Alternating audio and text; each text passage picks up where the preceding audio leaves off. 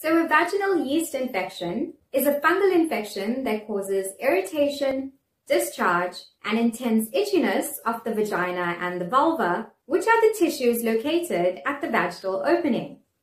Also known as vaginal candidiasis, a vaginal yeast infection will affect three out of four women at some point in their lifetime. And many of these individuals will experience at least two episodes during the course of their lifetime. Vaginal yeast infection isn't considered a sexually transmitted disease, but there is an associated increased risk of actually contracting an infection at the first time of irregular sexual activity. There is also a lot of evidence to support that vaginal yeast infections are actually linked to mouth to genital contact, which is the case during oral sex.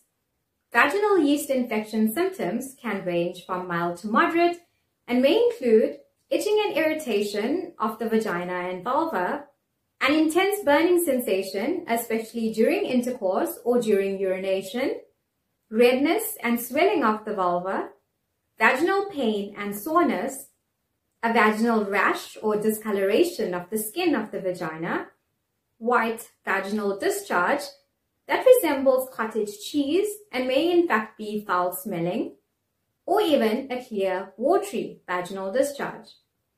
Certain factors may actually increase the woman's chance of developing a vaginal yeast infection. They include antibiotic use.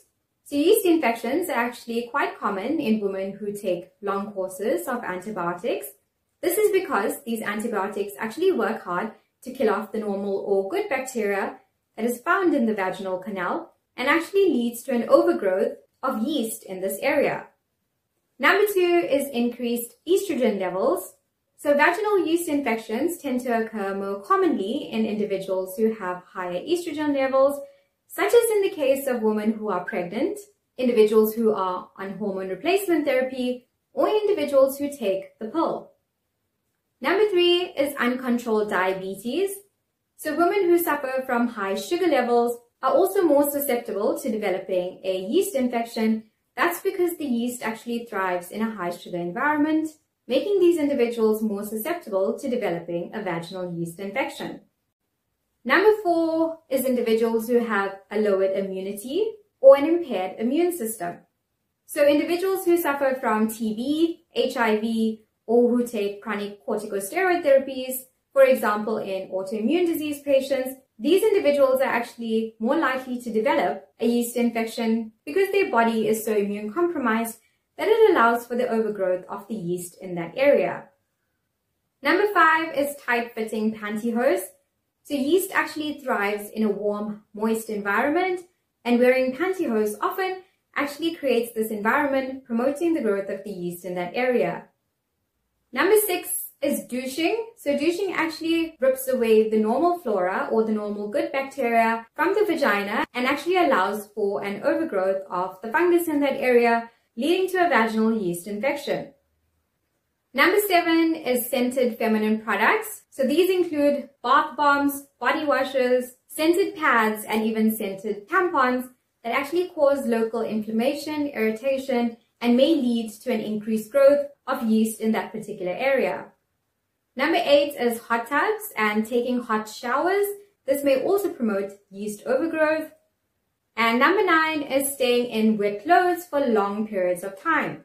So this is especially common in gymnasts, gym instructors, or women who spend a lot of time in swimsuits or workout attire that may be wet or sweaty. And this may also cause an overgrowth of yeast in this particular area. So the treatment of vaginal yeast infections depends solely on the occurrence, the frequency of it, as well as how severe the infection may be. So usually a short course of vaginal therapy, which means taking an antifungal therapy for three to seven days, usually treats the infections quite effectively. So a doctor may prescribe an ointment, a cream, a suppository, or even an oral tablet to treat your infection. So miconazole is usually the most common treatment and works well as a cream or even as a suppository and usually rids the infection quite quickly within five days. In some cases, the doctor may also prescribe a single dose oral medication, but this is usually not given to women who are pregnant. And this is usually a single dose of fluconazole, and this medication is actually used to treat more severe infections or infections that have been severely debilitating to the patient. Make sure to like, follow and subscribe to our YouTube channel for more videos.